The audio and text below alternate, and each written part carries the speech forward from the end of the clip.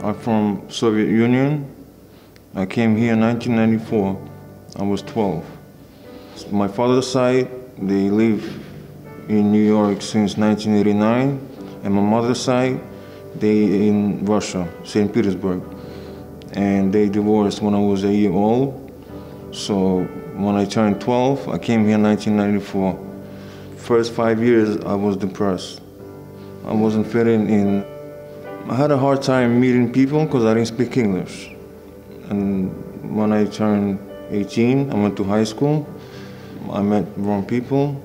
They were older than me, but they were doing drugs. And that's how everything started. A month later, um, I see myself shooting bundle a day. Five months later, um, I got hepatitis C. I hate thinking about it.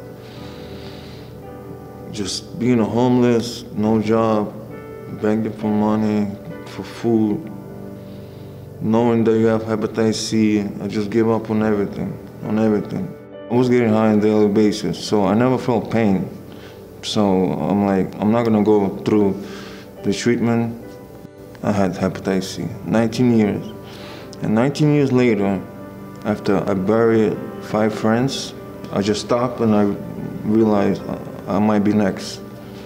Go through the treatment, back and forth, blood work, just stay strong. I said, I'm talking to myself. Time went by quick.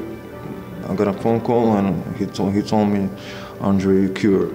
After the treatment, I feel more energy. I start eating better, thinking differently, and since I met Vocal, over a year, I'm clean, I got a job, I got a place to live, I got cured. I think that's the biggest thing.